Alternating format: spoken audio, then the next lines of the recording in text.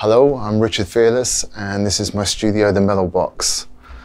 Um, so this this equipment that I've got here is pretty much what I have uh, been using um, for the last three decades. um, Juno 101, 909, SQ10, MS20, 606, 202, 303, the Moog, the SH09. Um, that equipment's been my staple. I've added a few more pieces of, well, I've got more outboard gear and things, but that's pretty much um, what I've been using um, since the Contino sessions, really. Um, everything in the studio is running live. Um, so it's all running live. The sync box is this Acme 4, which I use. Um, and then I run everything through my console. There's a patch bay here, so anything I want, it's a MIDI patch bay as well. So anything in the studio can be kind of like patched up.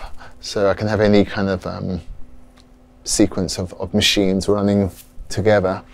Um, but also what I use, I use this Fulcrum, Fulcrum, sorry, passive uh, summing mixer. So once I've kind of processed my songs, I sum it all through these Neves and this uh, BA compressor. And, and, that's pretty much, um, pretty much the main crutch of, of the studio.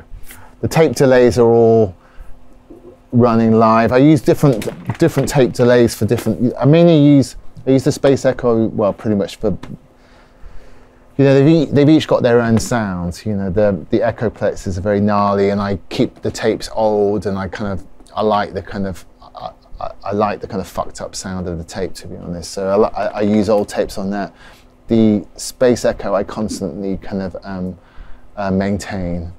So that involves like re-rubberizing the wheels, de, um, um, magnetizing the heads, and, and, and that all adds to a kind of clean, cleaner sound for the Space Echo.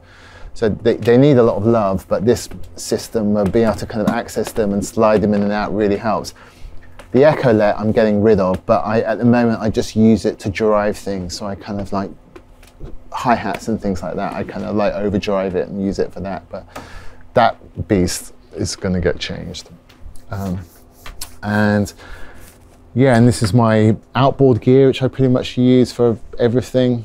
I've got the SansAmp for my distortion, two Effectrons, the uh, Eventide H3500, my sequencer, and my Lexicon, which I only got for the last, I got this for Deep Rave Memory, the Lexicon. I've never had a kind of standalone reverb unit, and reverb's something I kind of didn't really use, weirdly.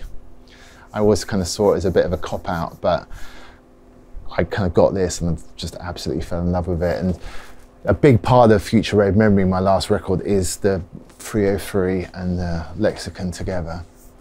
Um, and um, yeah, so the studio really is this, is running off the three sequences: the, the SQ10, the 202, and the uh, SAM 16 sequencer and they're the kind of like the brains where I do most of the writing with the sequences.